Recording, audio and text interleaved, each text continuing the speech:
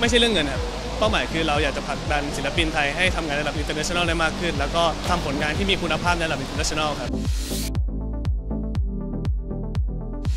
แน่นอนครับแน่นอนครับ ผมผมกับวินยังเนี่ยวินอยู่ข้างในผมอยากได้ไปทักมากเลยยังไม่ได้เข้าไปเจอน้องเลย ก็จริง ๆ หมายถึงว่า ติดต่อได้เสมอครับ ผมสามารถร่วมงานได้กับทุกคนจะวินหรือว่าจะใครก็ตามอะไรเงี้ยผมผมพร้อมที่จะร่วมงานกับทุกคนเสมอครับ อย่างที่บอกครับ เราจะปกป้องตัวเองอย่างถึงที่สุด แล้วก็ไม่มีการยอมความอย่างแน่นอนครับครับก็วันนี้ครับคาร์ n นเตอร์เทนเมนต์ก็เป็นเหมือน จริง ๆ เราทำงานกันมาพักหนึ่งแล้วครับ แต่ว่าวันนี้ก็เป็นเหมือนเราจัดเป็นปาร์ตี้ grand opening อะไรเงี้ยครับก็เหมือนแบบแนะนำตัวกับพี่ๆสื่อมวลชนด้วยลูกค้าต่างๆเอเจนซี่แล้วก็ทุกคนที่อยู่ในวงการบันเทิงด้วยครับสำหรับวันนี้ เป็นยังไงบ้างค่ายนี้จะเกี่ยวกับอะไรยังไงบ้างครับก็สำหรับค่ายนี้นะครับเราอย่างที่ได้บอกไว้ครับเราทำงานกันเหมือน เรามี 2 part ครับ ก็คือ part ของ artist management คือ เราไม่ได้ตั้งใจจะมาทำค่ายนี้เพื่อที่จะเหมือนดูแลผมคนเดียว เราตั้งใจที่จะมี ศิลปินที่เราดูแลในสังกัดด้วย แล้วก็เราจะทำงานใน part ของเอเจนซี่ด้วย เพื่อที่จะตอบสนองความต้องการของลูกค้าครับไม่ว่าจะเป็นการจัดหาศิลปิน การทำชิ้นงานต่างๆ ไม่ว่าจะเป็นโฆษณา music marketing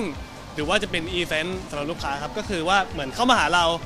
อยากจะทำอะไรที่เกี่ยวกับ Creative Agency อะไรเงี้ยเราสามารถจัดการให้ได้หมดครับผม เรียกว่าครบวงจรเลย ใช่ครับ ครับสำหรับ Cloud9 ครับ Cloud9 คือ คือถ้าให้เทียบเป็นภาษาไทยมันเหมือนแบบ สวรรค์ชั้น 7 อะไรเงี้ยแบบว่ามีความสุขมากๆ คือ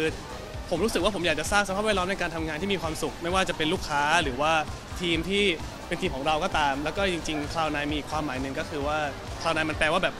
เหมือนเราทะลุเมฆขึ้นไปเรื่อยๆ จนโอ้ยน้ำเดือด นะฮะเหมือนเราทะลุเมฆขึ้นไปเรื่อยๆ จนถึงกับเป้าหมายที่เราตั้งไว้อะไรเงี้ยคือเราอยากจะให้การทำงานเนี่ยต่อให้เราทำงานหนัก แต่เรามีความสุขไปด้วยกันจนถึงเป้าหมายแค่นั้นครับเปิดตัวฝนเลยตกเลยเนาะนั่นน่ะสิงงเหมือนกันจริงๆใน เออจริง ๆ ผมไม่ไม่ไม่ได้ปรับเปลี่ยนอะไรเยอะครับ เพราะว่าผมส่วนตัวผมทำธุรกิจอยู่แล้ว ผมมีอีกแบรนด์หนึ่งเป็นแบรนด์แฟชั่นชื่อ Atto Stuff ซึ่งในในธุรกิจนั้นผมก็ทำหน้าที่เป็น CEO อยู่แล้ว ก็แต่ว่ายังไม่ได้มีโอกาสได้มาออกสื่ออะไรแบบนี้ แต่ว่าสำหรับ Cloud9 ก็คือเหมือน เป็นธุรกิจเหมือนกันทำตำแหน่งเดียวกัน แต่ว่าเป็นอีกเหมือนเป็นอีกเขาเรียกว่าอะไรอีกอีกแคทหนึ่งสำหรับธุรกิจแบบนี้มากกว่าศิลปินเองด้วยเป็นนักร้องเองด้วยแล้วก็มี ใช่ครับ ก็คืออย่างที่บอกครับ อย่าอย่าลืมไบร์ทวชิรวิทย์นะฮะไม่ได้เอ่อเปิดค่ายแล้วเลิกทำงานนะครับ ก็ยังเป็นศิลปินอยู่ยังติดต่องานได้เหมือนเดิมไบร์ทวชิรวิทย์ยังเป็นศิลปินอยู่นะครับฝากด้วยครับ อันนี้เป็นเบอร์แรกของค่าย คนเดียวคนเดียวอยู่ครับ คือจริง ๆ ผมอย่างที่เคยบอกไปตั้งแต่ตอนสัมภาษณ์รอบที่แล้ว คือ ผมรู้สึกว่าเรามีเป้าหมายแหละ แต่เราก็กำลังจะเหมือนรวบรวมทีม จัดการระบบต่างๆ ให้มันเป็นได้อย่างที่เราตั้งเป้าไว้ คือณวันนี้ผมก็อยากจะให้ตัวเองเป็นเหมือน หนูทดลองแล้วกัน ผมหมายถึงว่าเราอยากทดลองกับตัวเองก่อน ถ้าเกิดผมรู้สึกว่าเอ้ยระบบที่เราทำเนี่ยมัน work กับผมแล้ว ผมก็จะพร้อมที่จะเซ็นสัญญากับศิลปินคนอื่นๆเข้ามา เพราะว่าผมมองว่าการเซ็นสัญญาศิลปินคนหนึ่งมันไม่ใช่แค่การที่เรา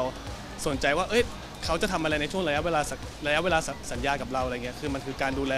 ครอบครัวเขาแฟนคลับเขาแล้วก็เหมือนเราอยากจะดูแลเขาไปจนถึงว่าณวันหนึ่งที่เขาไม่ได้อยู่กับเราแล้วเขาจะทำอะไรต่อเพื่อดูแลครอบครัวหรือดูแลตัวเองอะไรเงี้ยครับเป้าหมายเหรอครับ เป้าหมายคือ ไม่ใช่เรื่องเงินครับ เป้าหมายคือเราอยากจะผลักดันศิลปินไทยให้ทำงานในระดับ international ได้มากขึ้น แล้วก็ทำผลงานที่มีคุณภาพในระดับ international ครับ ผมเชื่อว่าผลงานที่ดีจะนำมาซึ่งผลกำไรที่ดี ผมไม่รู้ว่าผมไม่ได้เคยบอกพนักงานว่าปลายปีนี้เราจะได้กำไรเท่าไหร่ แต่ผมบอกพนักงานว่าปลายปีนี้เราจะทำงานอะไร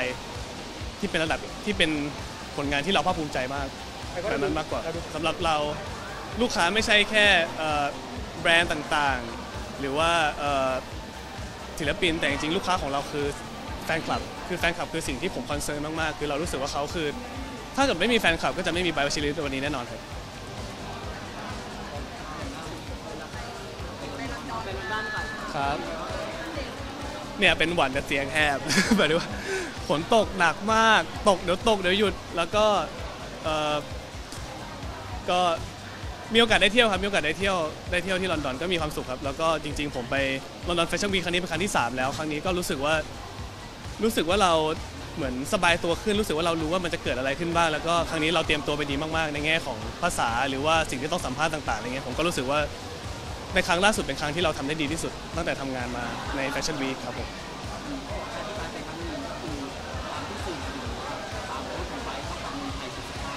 จริงเหรอครับ เนี่ยอย่างที่บอกนะเขาต้องเพิ่มค่าตัวให้ผมแล้วแหละ ถึงขนาดนั้นนะมันซึ่งแต่ว่ามูลค่ามันดูแบบการตลาดค่อนข้างที่จะรุ่งเรืองก็ดีใจครับ ผมรู้สึกว่าเหมือนเหมือนพอเขาทำงานกับเราเนาะเราก็อยากที่จะทำให้เขาได้ผลลัพธ์ที่เขาต้องการอะไรเงี้ยและในเวของเราคือผมรู้สึกว่าเบอร์รี่เป็นแบรนด์ที่รับฟังมากๆ แล้วก็เราเราหาตรงกลางในการทำงานคือเราไม่ได้เขาเราไม่ได้เป็นเหมือนแค่นายแบบหรืออินฟลูเอนเซอร์คนหนึ่งแต่เราเหมือนเป็นคนที่ present Burberry ในแบบของเราอะไรเงี้ยก็ต้องขอบคุณ Burberry จริงๆที่ให้ผมได้มีอิสระในการทำงานครับผมเป็นมูลค่าการตลาดความคาดหวังคนอื่นไปจะต้องลงเองไหนครับผมมองอะก็อย่างที่บอกครับเตรียมตัวไม่ว่าในเรื่องสัมภาษณ์ภาษาต่างๆ แล้วก็จริงๆ ผมมีทีมที่เอ่อตั้งใจทำงานมากๆ เป็น professional มากๆ ไม่ว่าจะแบบหน้าผมสไตลิสต์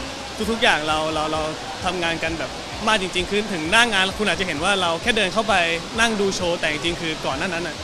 เรา work hard กันมากๆสำหรับโปรเจกต์นี้ครับครับเอ่อ MTV Japan ครับก็พฤศจิกายนเพิ่งประกาศเดี๋ยวมีเพื่อนรักผมไปด้วยกันด้วยนะครับกลัฟคณาวุฒิฝาก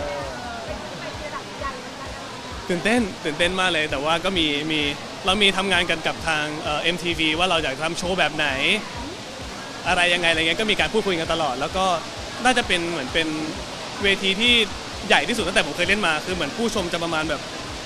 20,000อะไรเงี้ยก็ก็ตื่นเต้นมากๆครับจริงๆ โชว์ค่อนข้างจะสมบูรณ์ประมาณนึงแล้วครับเป็นโชว์เดี่ยวครับ มีโอกาสเห็นไบรท์บินมาคู่กันเยอะไหมหรืออะไรอย่างเงี้ยคู่กันนี่หมายถึงว่าร่วมงานร่วมงานแน่นอนครับแน่นอนครับ ผมผมกับวินยังเนี่ยวินอยู่ข้างในผมอยากได้ไปทักมากเลยยังไม่ได้เข้าไปเจอน้องเลย ก็จริง ๆ หมายถึงว่า ติดต่อได้เสมอครับ ผมสามารถร่วมงานได้กับทุกคนจะวินหรือว่าจะใครก็ตามอะไรเงี้ยผมผมพร้อมที่จะร่วมงานกับทุกคนเสมอครับ เป็นพี่น้องเป็นเพื่อนที่สนิทกันมากๆเพราะฉะนั้นไม่ต้องห่วงครับวินคือเฟรนด์ for life ของผมครับเราเคยคุยกันว่าแบบอนาคตต่อให้วันหนึ่งเราจะแต่งงานมีลูกอะไรก็ตาม เราอาจจะมีทริปแบบเฮ้ยไปเที่ยวทะเลการพาลูกพาอะไรไปหมายถึงว่าเรา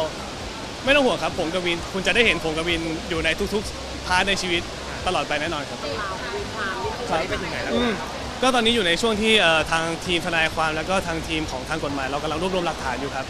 คือด้วยความที่ผมไม่เคยออกมาปกป้องตัวเองเลย ตลอด 3-4 ปีที่ผ่านมาที่ที่ผมโดนเรื่องเฟกนิวหรือเรื่องข่าวอะไรแบบนี้มาตลอดอะไรเงี้ยเราก็เลยอยากจะเหมือนรวบรวมให้ได้มากที่สุดเพื่อที่จะทำการเหมือนเขาเรียกว่าอะไรนะฟ้องร้องในในทีเดียวอะไรเงี้ยก็ ตอนนี้เป็นเป็นทางทีมกำลังทำงานกันอยู่ แต่ว่าอย่างที่บอกครับเราจะปกป้องตัวเองอย่างถึงที่สุด แล้วก็ไม่มีการยอมความอย่างแน่นอนครับเขามีติดต่อติดต่ออะไรบ้างไหมครับมีติดต่ออะไรบ้างไหมครับโอ้ยอันนี้อันนี้อันนี้ไม่ทราบเลยครับ แต่ว่าอย่างที่บอกครับเอ่อทุกการกระทำมันมีมันมีผลลัพธ์ของมันเลยครับ ผมก็อยากจะให้เคสนี้เป็นเป็นบทเรียนสำหรับไม่ใช่แค่คนที่คนที่กระทำผิด แต่ว่าเป็นบทเรียนสำหรับคนที่ใช้โซเชียลอยากให้ใช้โซเชียลอย่างสร้างสรรค์อย่างสร้างสรรค์แล้วก็ ขอให้เป็นครั้งสุดท้ายแล้วกันที่ผมต้องออกมาทำอะไรแบบนี้ ถ้าไม่อยากพลาดข่าวบันเทิงแซ่บๆ อย่าลืมกดไลค์ กดแชร์ กด Subscribe ทางช่อง YouTube Top ดาราด้วยนะคะ